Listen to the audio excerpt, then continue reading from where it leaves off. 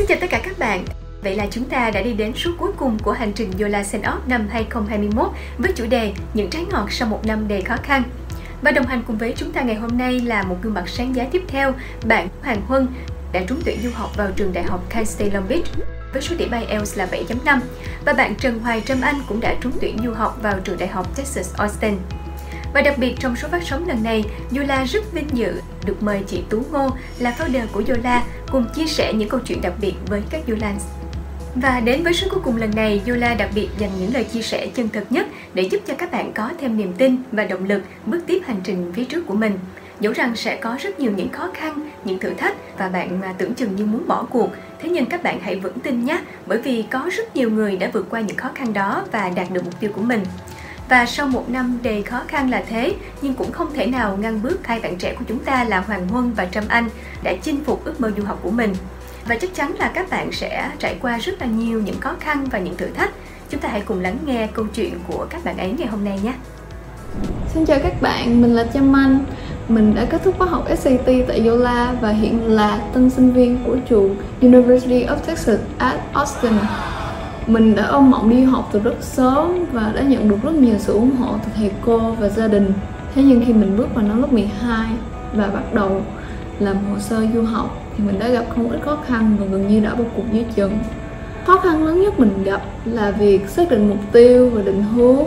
Lúc đó mình không biết là mình muốn học ngành gì và cũng không biết là mình muốn làm gì trong tương lai luôn. Đây là một cái vấn đề mà nhiều bạn sẽ gặp phải Việc hoang mang lo lắng cộng với áp lực điểm số tại trường đã ảnh hưởng không ít tới sức khỏe tâm lý của mình, nên mình đã quyết định không nộp hồ sơ nữa để dành nhiều thời gian suy nghĩ hơn. Khi mình đưa ra lựa chọn xét gap year thì mình bị mọi người xung quanh phản đối rất quyết liệt.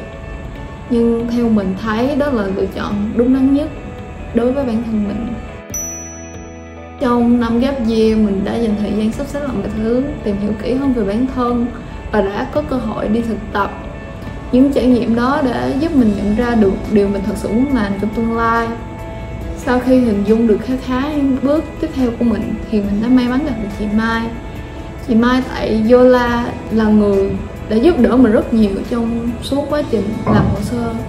Chị Mai đã giúp mình cảm thấy bớt lo lắng, căng thẳng và giúp mình đặt những mục tiêu cho những năm tiếp theo. Yola đã ở bên cạnh mình trong suốt quá trình luyện thi SAT cũng như trong suốt quá trình nộp hồ sơ đi du học. Mọi người đừng lo nếu mọi người dành thời gian cho bản thân tìm hiểu rõ hơn thì mình tin chắc rằng là các bạn sẽ vượt qua được.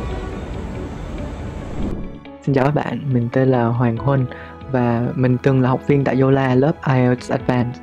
Và bây giờ mình chuẩn bị trở thành sinh viên tại Mỹ tại một trường ở California du học luôn là cái sở thích từ nhỏ của mình rồi.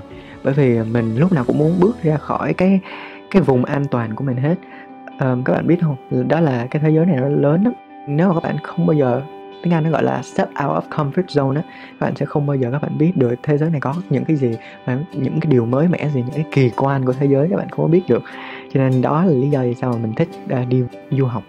Và cái đất nước mà mình chọn để đi đó là Hoa Kỳ đó là Mỹ.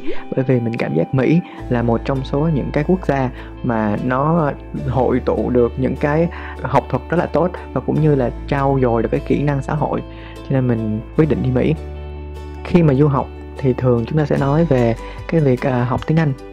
Cái việc học tiếng Anh đối với mình nó nó dễ hơn một chút bởi vì mình mình học tiếng Anh từ rất là nhỏ mình bắt đầu tiếng Anh rất là sớm sớm hơn mọi người rất là nhiều. Cho nên là cái đó nó cũng đã giúp cho mình có một cái nền tảng tốt để chinh phục ước mơ của mình. Cho nên mình thật ra mình cảm giác tiếng Anh không khó. Cái khó là sao? Là các bạn có tìm được cái lộ trình hay là những cái các bạn có vượt qua được cái trở ngại của mình hay chưa? Khi mà các bạn học tiếng Anh nó giống như các bạn học một ngôn ngữ hoàn toàn mới mà. Cho nên các bạn phải kiên trì thôi và các bạn à, phải có một cái lộ trình đã được sắp ra đầy đủ. Thì đó là về việc học tiếng Anh. Còn về việc du học mình cảm giác đó là ngoài tiếng Anh ra chúng ta còn phải chuẩn bị tâm lý nữa. Những ngày qua đất nước mới thì dù mình không bị à, sốc văn hóa nhưng mà có những cái à, khó khăn hơn. Giống như là cái cảm giác các bạn sẽ à, lo lắng là mình có thành công hay không các bạn nhìn về những người ở ờ, Việt Nam các bạn nhìn tới à, các bạn nghĩ là người ta có quan tâm tới mình hay không? Là nhiều thứ nữa và các bạn cảm thấy rất là stress vô cùng luôn. Nhưng mà dù gì đi nữa các bạn mình muốn nói với các bạn đó là việc gì nó cũng sẽ qua và nó sẽ ờ, không có mãi mãi là như vậy. Các bạn cố gắng giữ một cái tâm lý ổn định nhất có thể. Tin mình tin mình. Đó là khi các bạn bước ra khỏi vùng an toàn là các bạn chắc chắn phải có một tâm lý ổn định sau đó là các bạn muốn làm gì rồi các bạn làm. Cái trải nghiệm ờ, du học của bạn sẽ tốt hơn rất là nhiều luôn. Cũng thật may mắn là khi mà mình học ở Yola thì mình được gặp rất là nhiều thầy cô tốt. À, thầy cô Yola thật sự là quan tâm tới mình và giúp mình rất là nhiều để có được cái ờ, cái những cái mình mong muốn như bây giờ. Và uh, cái bằng IELTS của mình là một cái mình mình cảm thấy là một cái để mình mình mình tự hào mình khoe rất là nhiều người. Rồi cảm ơn Yola và um, cũng như là những cái những cái thứ tiếp theo mà Yola sẽ đạt được Số lượng học viên đạt thành tích cao tại Yola mỗi năm vẫn không ngừng tăng lên và những bạn trẻ như Trâm Anh và Hoàng Huân của chúng ta cũng sẽ tham gia vào cộng đồng du học sinh và cựu học viên tại Yola. Và các bạn Yola của chúng ta cũng sẽ trở thành những gương mặt danh giá tiếp theo bằng sự nỗ lực của chính mình và sự đồng hành của Yola.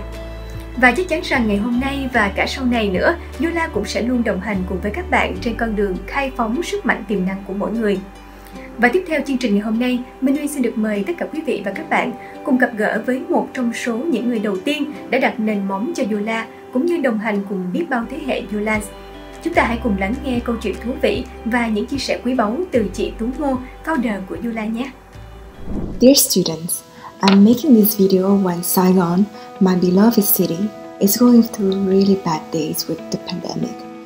For many of you who have graduated from high school, You've gone through periods of school closure, the uncertainty of the graduation exam, and especially making the hard decision to study overseas, which means to leave your family and friends in the middle of a pandemic to go to foreign countries that you're not sure whether are better or not. You've made difficult decisions with much support from friends, family, and teachers, and I'm so proud of you for that. What the pandemic has taught me is that we really don't know what you are entering. Universities are changing, no more SAT exams, and with more hybrid learning options, will you still need four years to finish a degree? There's no such thing as the best country to study and to live in, because in the face of a crisis, and we'll see many more to come in the coming decades, nowhere can offer you that guarantee. Instead of choosing the usual belief that one should always go to where there are the most resources. Try out these things. 1. In facing challenges in life, choose to go together with trusted friends, family, and teammates. There's hardly anything one can do alone. 2. Using your English, your education, and privileges whenever you can. Choose to lend a hand. Doesn't have to be big. Being able to help someone makes me feel like I'm so happy to connect with so many Yola alumni who are helping with various COVID relief efforts. And three, most importantly, never give up on life. There will always be days when you don't feel like doing anything, but tomorrow will be a new day. Go at your own pace. Feel connected with yourself and others, but always trust that your life and our world It's a beautiful and resilient place to be in. Uyên xin được phép trích dẫn lại câu nói của chị Tú mà Uy nghĩ rằng nó rất đúng với hiện tại. Hãy cứ đi theo hành trình và tốc độ riêng của mình, cảm thấy kết nối với chính mình và mọi người xung quanh. Hãy luôn tin tưởng rằng cuộc sống của bạn, thế giới của chúng ta là một nơi tươi đẹp và kiên cường để sống. Và đúng vậy, bạn sẽ trở thành chính bạn tuyệt vời nhất, cũng là thông điệp mà Yola Senop năm 2021 muốn gửi gắm đến các bạn. Be a better you. Trong thời gian tới thì à, các bạn học viên của Yola sẽ được à, chinh phục à, một thử thách lớn hơn đến với một miền đất xa xôi và gặt hái thêm nhiều thành công hơn nữa. Các bạn ấy cũng có một số điều nhắn nhủ đến với các Yola hiện tại. Chúng ta hãy cùng lắng nghe nhé. Điều quan trọng nhất mình học được cũng là điều mình muốn nhắn nhủ tới các Yola sao mọi người hãy cứ đi theo flow của bản thân nhưng cũng đừng ngại nắm bắt các cơ hội mình biết là việc nộp hồ sơ du học rất áp lực, nhưng mình cứ chọn con đường mà mình cảm thấy thoải mái và hạnh phúc nhất là được rồi. Hãy hết mình. Không cần biết việc đó có hỗ trợ cho các bạn hay không. Nhưng mà hãy bỏ công sức bởi vì nó sẽ giúp ích cho mình vào một ngày nào đó không xa. Dù cái mong muốn của bạn là gì đi chăng nữa thì mình cũng nghĩ đó là uh, các bạn cứ kiên trì nỗ lực thì các bạn sẽ được như vậy thôi. Và mình chúc Yola là trong tương lai sẽ có được những cái bạn học viên còn à, tốt hơn như vậy nữa và được à, lớn mạnh hơn trong tương lai không chỉ là Hoàng Huân, Đức Trường, Đông Đào hay là Trâm Anh, Yola tin chắc rằng với niềm tin và sự nỗ lực của chính bản thân mình, các bạn hoàn toàn có thể đạt được mục tiêu của chính mình và gặt hái được những quả ngọt sau một năm đầy khó khăn. Hãy vững tin các bạn nha! Còn bây giờ chúng ta hãy cùng chúc mừng cho các học viên xuất sắc đã trúng tuyển du học trong năm học mới này nhé. Bạn Đặng Đoàn Thục Anh trúng tuyển trường Wilson School of Design at KPU. Học bổng 3.500 CAD của trường Humber College. Học bổng 1.000 CAD của trường Sheridan College. Bạn Ngô Hoàng Châu Anh học bổng 60.000 đô của trường University of Missouri, Kansas City. 48.000 đô của trường Florida Institute of Technology. 60.000 đô của trường Wentworth Institute of Technology, học bổng 60.000 đô của trường Central Michigan University. Bạn Thái Phương Quỳnh học bổng 45.000 đô của trường Texas Christian University, học bổng 15.000 đô của trường University of Massachusetts Amherst, học bổng 16.000 đô của trường University of Minnesota Twin Cities. Bạn Đinh Quốc Khánh với mức học bổng 48.000 đô của trường University of South Florida, bạn Nguyễn Hà Bình với mức học bổng 14.000 đô của trường Arizona State University. Bạn Chu Thanh Thảo với mức học bổng 85% của trường SP Trent School of Global Management. Bạn Trần Nguyễn Khánh Trang học bổng toàn phần trị giá hơn 6,2 tỷ đồng của trường Smith College. Bạn Nguyễn Phạm Nhật Minh trúng tuyển du học trường University of Pittsburgh. Bạn Trần Hà Khánh Vi với mức học bổng 60.000 đô của trường Gettysburg College. Bạn Trương Nguyễn Quỳnh Trâm với mức học bổng 19.140 đô của trường The Village School. Bạn Nguyễn Ngọc Phương Uyên với mức học bổng 10.000 AUD của trường Monash University và Macquarie University. Bạn Chu Tiến Thành trúng tuyển du học trường Ryerson University. Bạn Phạm Nhật Hào với mức học bổng 30% của trường Swinburne University of Technology. Bạn Tôn Nữ Cẩm Nhiên với mức học bổng 256.000 đô của trường Cornell University. Bạn Vũ Thị Thái Minh với mức học bổng 2.000 đô của trường University of Houston. Bạn Bùi Đăng Khoa với mức học bổng 15.000 Ken của trường University of British Columbia. Bạn Bùi Xuân Thắng với mức học bổng 28.000 đô của trường University of Utah.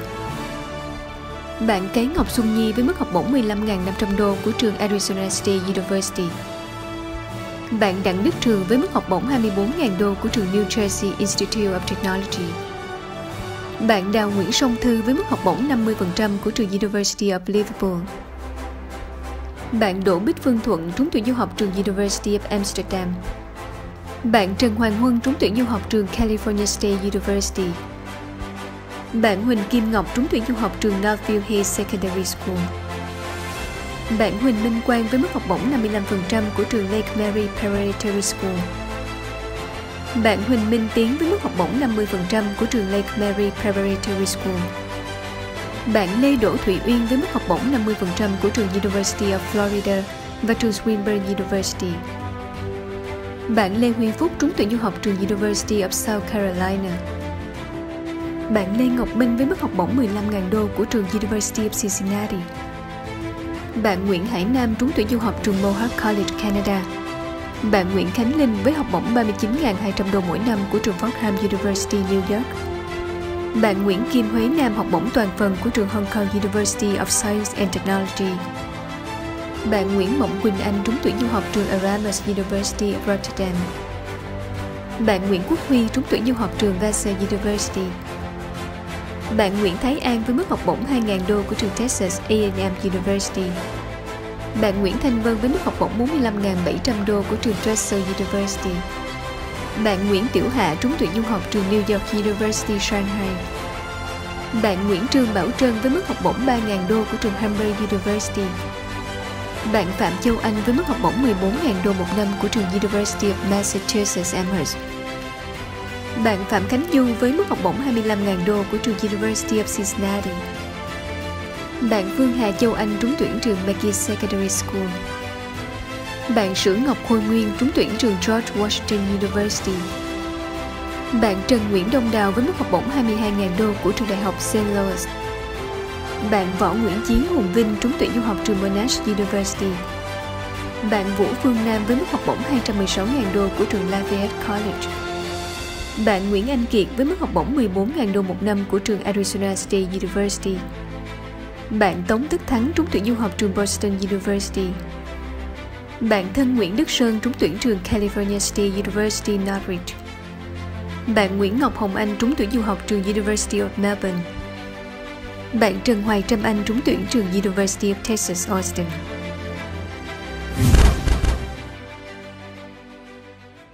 Vậy là hành trình Yula Senop năm 2021 đã chính thức khép lại. Tuy nhiên chúng ta hãy cùng nhau cố gắng hơn nữa để đạt được nhiều thành tích nổi bật trong năm học mới này nha. Và đừng quên là các bạn à, luôn có Yola luôn đồng hành trên con đường chinh phục ước mơ của mình.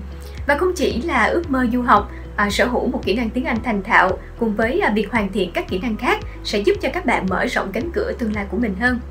Và các bạn Yola ơi, Yola hy vọng rằng năm sau các bạn sẽ là một trong số những bạn trẻ xuất hiện ở đây để cùng với Yola chia sẻ hành trình đạt được thành công của mình nha. Hãy vững tin và hẹn gặp lại các bạn trong hành trình Yola Senop năm 2022. Xin chào!